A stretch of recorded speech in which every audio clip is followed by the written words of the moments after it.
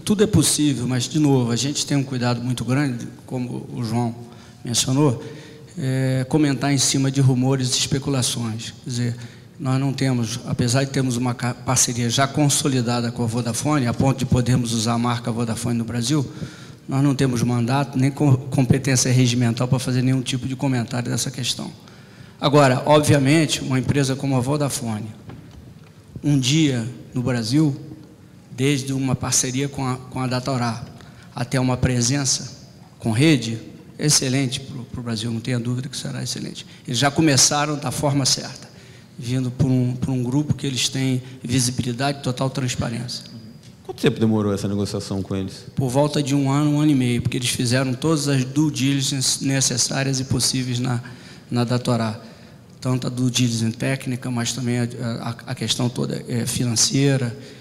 Dizer, foi muito bom para nós, porque é, isso é um carimbo que consolida a seriedade desse pequeno grupo familiar,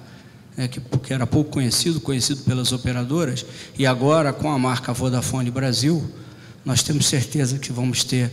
muito, muitos pontos positivos e alguns ônus. E já começamos a ver com as dificuldades que nós temos no nosso dia a dia com interconexões, com as operadoras, com as grandes, com qualidade baixa, preço alto e prazo muito alongado, veramos também, passamos a ser,